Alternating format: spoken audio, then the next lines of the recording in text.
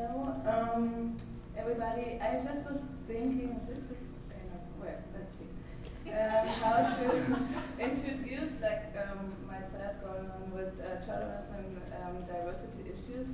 It's not my first time to the States, so I've been to New York for 30 months, and when I, I was in au when I changed family, my host mom like Googled how the Germans are, and was like, they're talking all the time about the weather. And since then, I really see that too. When you know topics are running out, we're talking about the weather.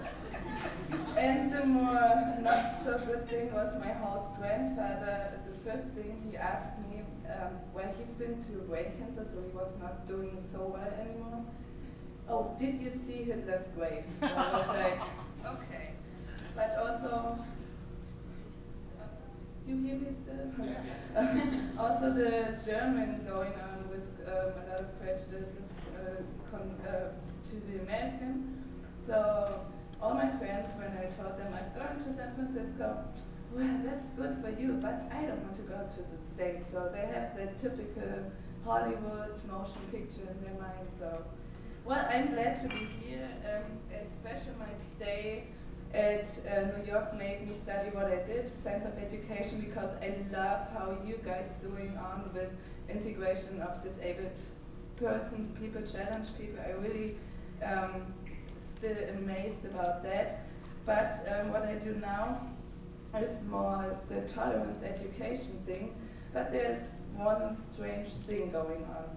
I come from East Germany, and um, oh no, let's put it in general. In whole Germany, we have 8% people coming from other countries.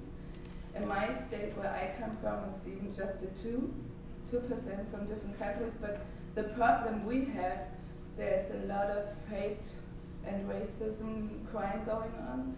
I do work in schools um, with people around like 14 to 18 and they have a real racistic thinking, and that really scares the hell out of me. Like how we we've been over that, you know, war thing and all that, but still, um, they say those people from Turkey or Russia are so bad, and it's so hard to deal with them, but we actually don't have any, like very few. So.